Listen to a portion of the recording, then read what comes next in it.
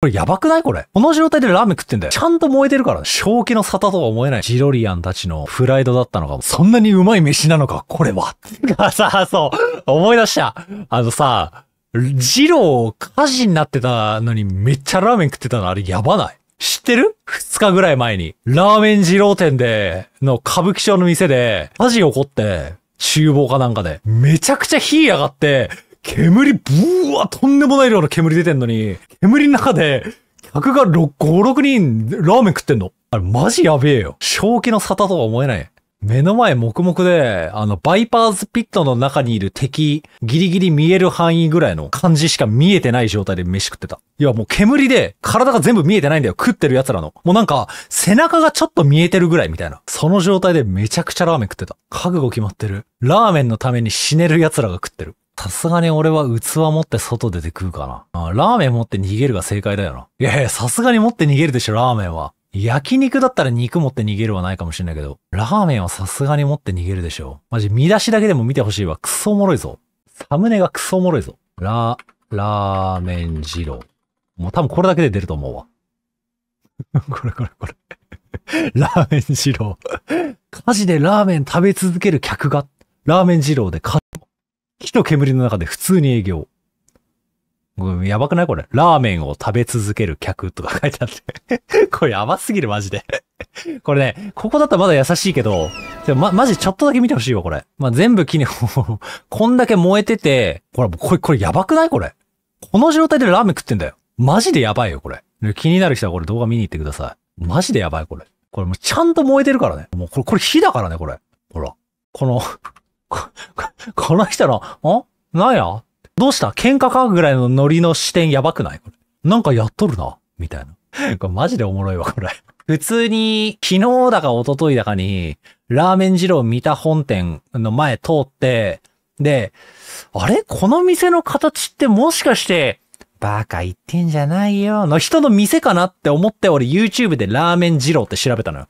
そしたら出てきた動画がこれね。え ?3 日前じゃんつって。マジでやばいこれ。マジでびっくりしたわ。燃え広がる前に食い終わるっていう、やっぱ、ジロリアンたちのプライドだったのかもな。メガネが曇って煙に気づいてない。あー、あるかもな。匂い？いや、匂いは目の前のやっぱニンニク油マシマシな匂いで消されてるから。嗅覚はラーメンでやられてる。海外のコメントで、そんなにうまい飯なのか、これはみたいなやつがあったらしい。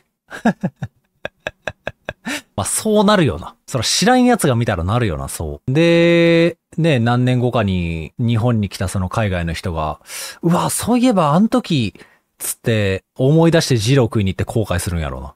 まあでもなんか最近ジローってかなり行きやすい店になったんでしょ。おぼめんが言ってた、おぼめんジローめっちゃ好きらしくて、昔は、やっぱ食いに行ったら、やっぱかなりピリッとした空気があったって実際言ってた。いや、最近そういうのないって。殺気だってないってって言ってたね。5年前ぐらいから亡くなった。へえ。俺、二郎系は食ったことあるけど、二郎は食ったことないからななんでラーメン食べるのにそんなに気を使ってる？まあ、でもラーメン食うのはやっぱね、気を使うべきだね。そこに関しては。二郎系の気を使うとは別だけどね。やっぱ俺は気を使うね。ラーメンは。やっぱ回転数が命だから、お店で、お店としても。やっぱね、ペースを乱してはいけない。安く食べさせてもらってるわけだからね。逆に。俺はもう全く逆だと思います。私は。全く逆です。やっぱ、高い料理の方が、むしろ高い。もうさ、いいじゃん、好きに食わしてくれよって。逆に思うね。俺は。外側からなんかナイフとフォークが通るの、し、わか、知らないよと。いいじゃん。俺が食いたいタイミングですけど、なんかそれ食わしてくれよって。今俺は米が食いたいんで、今、今食わしてくれ。まあ、んなこと言わない、うんなこと言わないっていうか、まあ、俺そもそもそういう店行かないけど、イメージ上そう思う。全部箸で食わしてくれよって。I'm Japanese, I'm Japanese つって思うけど、まあやっぱ逆にね、ラーメンはね、やっぱ安いからね、安い、やっぱ安い味で提供できるのは？って考えたらね、まあやっぱやっぱね、俺ラーメン食ってる時に一言も喋んないね、やっぱ、俺は。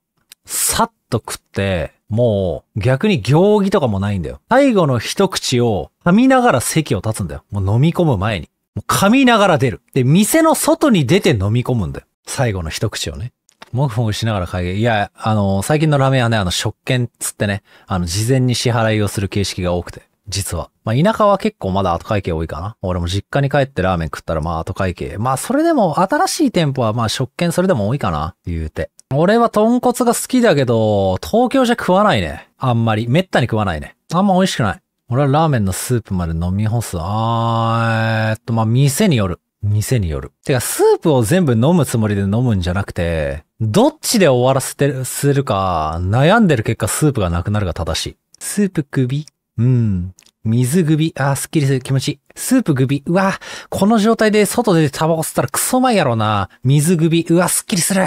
スープ首。うわ、こっちか？こっちか？水首。うわ、すっきりする。ってやってたら、スープなくなる。っていうとこで行くと、まあ俺結構ラーメン自体も好きだけど、まあラーメンのうまさは置いといて、一風堂のティア高い。一風堂ね、ルイボスティーがうまい。水じゃないんだよな。ルイボスティーなんだよな。出てくる水、あれが。茶。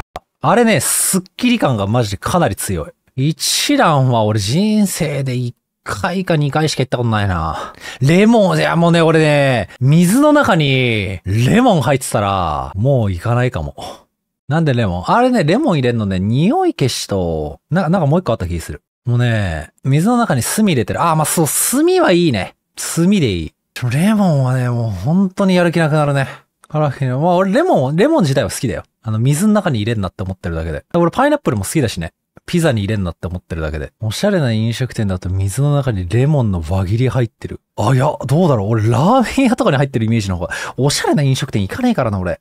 おしゃれな飲食店に入った時のパスタムカつくんだよな。マジで行かないようにしてる。おしゃれな店のパスタってさ、1300円とか1500円とか取ってくる分際で、二口ぐらいで食い終わる量しか入ってないじゃん。あ、終わったるマジで。5皿食えるわ、みたいな量のやつ。皿だけクソでけんだよな。だからおしゃれな店行かんな五右衛門？あ、え、でも五右衛門ってなんか結構自由聞かなかったっけ？五右衛門とかの日じゃないよ。都内のカフェとかの、おしゃれなカフェとかのパスタ。五右衛門とかね、もう本当に日じゃない。意識高いラーメン屋嫌い。あー、まあわかるわ。あの、寿司屋みたいな見た目のラーメン屋でしょ？違うかな？なんか若干薄暗くて、木の扉で、なんかカウンターじゃないけど、カウンターがなんかもうあの、いい木削っときましたみたいな、ニスが塗ってあって、テラッテラのクソ綺麗なテーブルで。で、なんかあの、醤油っぽいベースのスープの上に油が、うわーってなんかこの、さ、皿の綺麗な柄みたいな油が浮いてるラーメン屋でしょ？あの、大体メンマが長い、ホメンマみたいな。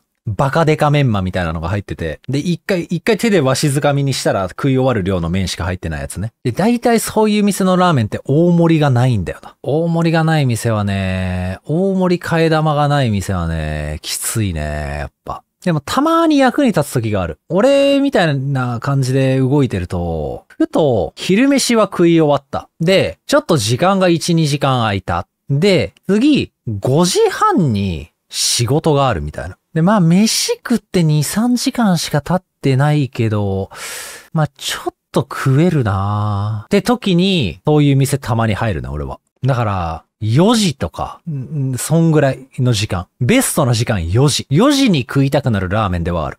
しかもね、4時とかに行くとね、客いなくていいんだよな。